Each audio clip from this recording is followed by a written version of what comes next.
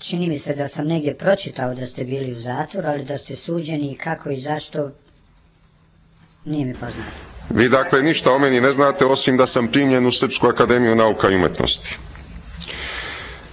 Dobro, gospodine VS 1013, recite mi da li je vama poznato da je još 1991. godine pod okriljem stranke demokratske akcije, takozvan SDA, to je stranka koja je okupljala najveći broj muslimana u Bosni i Hercegovini, da je formirana takozvana Patriotska liga.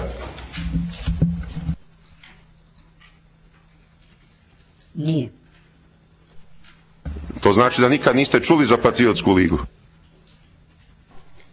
Čuo sam kad se zaratilo.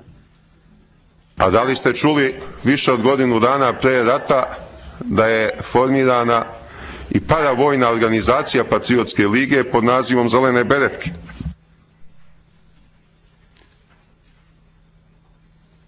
E, za zelene beretke sam čuo, mislim da je to na, na, na, televiziji prikazano, ne znam, u onim silnim predratnim a, prepucavanjima između nacionalnih stranaka, spominjano je u više navrata, jednom se čak sjećam, ne znam sad šta je to bila, kakva sjednica, čega da je neki čovjek, ne znam, izašao i rekao da, da postoje te, ne znam, zelene beretke i da on ne zna sad.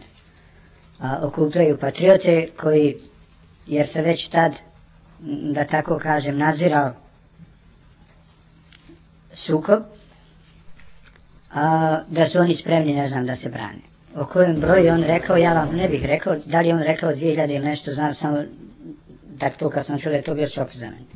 Čega 2000? Zeleni beretki.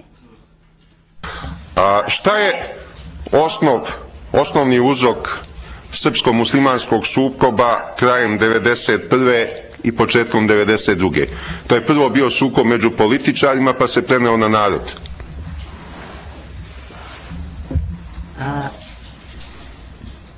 Šta je osnova sukoba?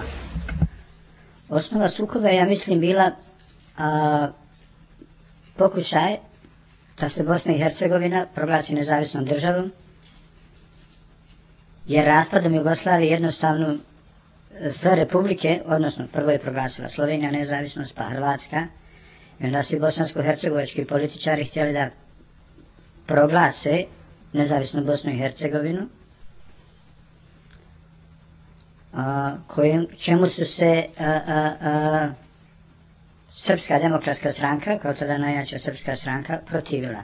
I to je vodilo do čestih žučnih rasprava, koje su, ne znam, sjednice su neke trajale i do pola noći i ostalo do žučnih izjava, na primjer Karadžića, koji je prijetio da nemoj da ne bude muslimana, do onih prijetnji od Čengića koji je izašao pa uzvratio toga, to su često puštao na televiziji pa se toga sjećam, nemoj da ne bude Srba i tako. Jednostavno, političari, tadašnji političari Bosne i Hercegovine se ponašali kao djeca u obdaništu. Dakle, da to rezimiramo, muslimanski i hrvatski političari hteli su nezavisnost Bosne i Hercegovine, a srpski političari su hteli da Bosna i Hercegovina ostane u sastavu Jugoslavije. Je li to rezime ovoga što ste rekli? Mislim da to nije rezime, jer vi morate, uh, koliko se ja sjećam, ja nisam, da vam kažem iskreno, nikakav analitičar, uh, ni vojni ni politički, ali gledano na to da su te tri stranke, znači HDZ, SDA i SDS, koalicijono preuzele vlast od komunista, samo da se skinu komunisti, morate a, biti svjesni da je su komunisti u svojim redom imali veliki broj i i muslimana i Srba i Hrvata. Znači, niko od ovih nacionalnih stranaka, po mom mišljenju, ja sve govorim po mom mišljenju i po mom ubjeđenju, jer da ja govorim u ime države ili državne organe, ja nisam prvo relevantan, drugo mislim da mi moja naobrazba to ne dozvoljava i treće ne smatram se tako pametnim. Ja vas nimalo ne podcenjujem, gospodin 13. Nimalo vas ja ne podcenjujem, bez obzira što niste neke velike škole završili. I zbog toga hoću da vam kažem da su samo oni imali u velikom broju još ljudi koji su bili sve tri nacije.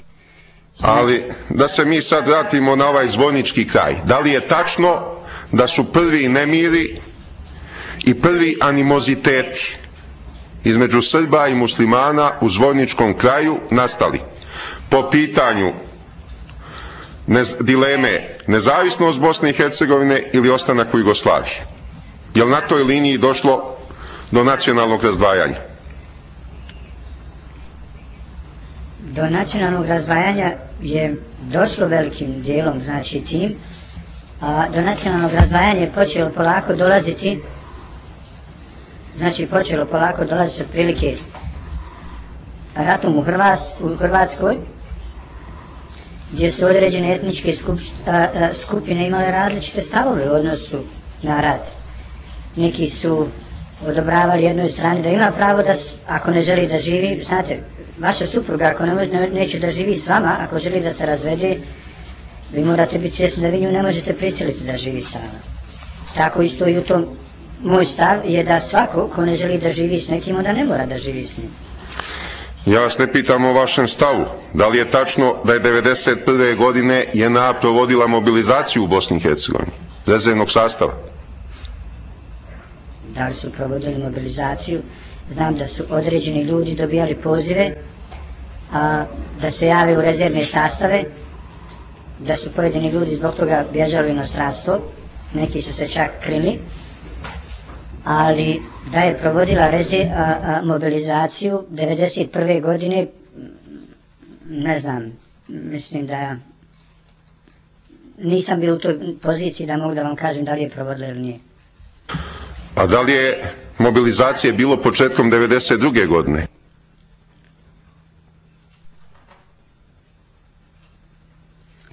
Mobilizacije, znači mobilizacije kao mobilizacije, a, mislim da se u selima oko Zvornika, a, da je JNA počela da poziva u rezervni sastav ili mobilizira, ne znam kako, koji je izraz adekvatniji, a, da vrši davanje vojne opreme i naoružavanje srpskog stanovništva jer a, određeni Srbi znači su svojim prijateljima dugogodišnjim pričali kako su, ne znam, 15-20 dana pred rad bili na vojnoj vježbi pa su umorni dolazili na posao.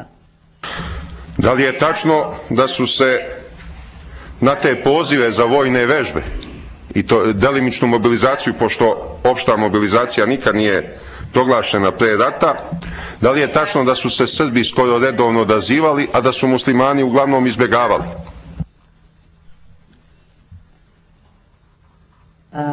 Znam da su Srbi bili mobilisani, da li su muslimani dobijali pozive za mobilizaciju, znači Ja se sjećam par momaka koji su dobili pozive 1991. godine u rezervni sastav i da su a, izbjegavali te pozive jer su se plaćali da će biti poslani a, ne znam, na ratišta u Hrvatskoj ili znači mislim da je to 91. A da li su 92. muslimani dobijali pozive ne znam. Ja, nis, ja lično nisam dobio. Ne znam da, da li vam je poznato selo Donja Kamenica, to je u Zvojničkoj opštini? Selo Donja Kamenica nam je, mi je poznato. Jasno. Znate li za njegov zaselak Šahmani? Molimo pauze između pitanja i odgovora. Hvala. Okay. Jeste čuli za zaseok Šahmani u tom selu? A, možda sam čuo, ali Šahmani, ne znam. Jeste li čuli da je sredinom Malta 92. uhapšena grupa od pet srpskih mladića u tom selu? I da je to bio prvi incident ozbiljniji na području zvojnika.